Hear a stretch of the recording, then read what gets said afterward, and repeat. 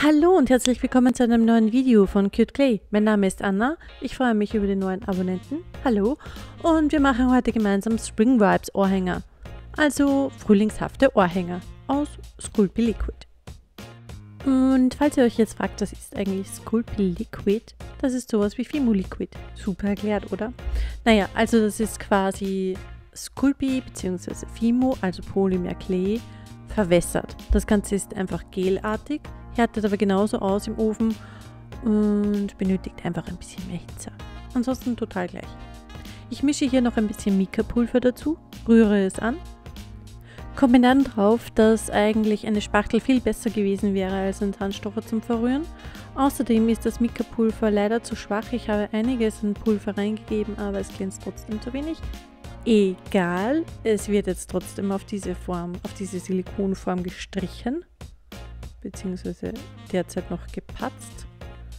Und mit dieser super coolen Spachtel kannst du es dann glatt streichen. Das war nicht so einfach, wie es aussieht. Ähm, und zwar muss man hier langsam vorgehen. Ich streiche hier viel zu schnell.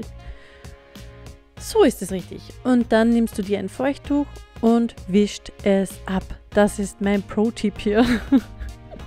Drüber streichen und dann, wenn du Löcher entdeckst, die durch das schnelle Streichen entstanden sind, einfach wieder auffüllen, drüber spachteln, wieder abwischen.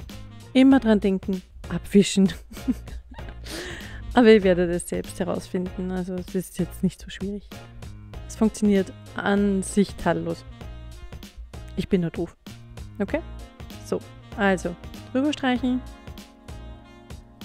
Ja. Ja. Und abwischen.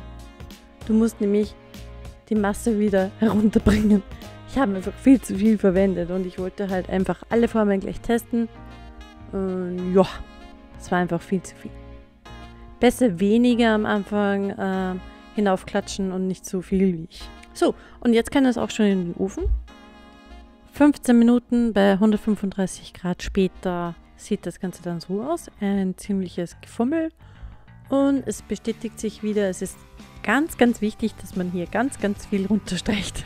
Ansonsten hast du Ränder. Mir ist das jetzt Gott sei Dank nicht passiert, aber am Schluss waren bei den kleineren so ein bisschen hartnäckige Ränder, die ich sicher so nicht runterbekommen hätte. Also schwierig.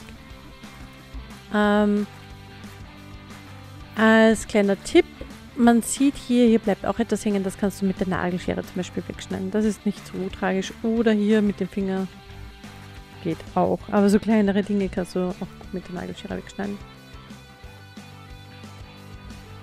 Don't you sugar was like me? Sind die nicht hot? Okay. Ähm, jetzt schnappe ich mir noch ein paar silberne Kettelstifte. Also so Dinger mit ähm, Loch unten. Und fülle sie mit Perlen auf. Nimm dir einfach Perlen, die du zu Hause hast. Also es müssen natürlich nicht die gleichen sein. Einfach bunte, coole, schöne, frühlingshafte Farben. Pastellfarben sind hier gut geeignet.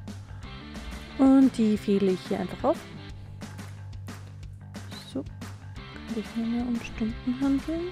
Gut.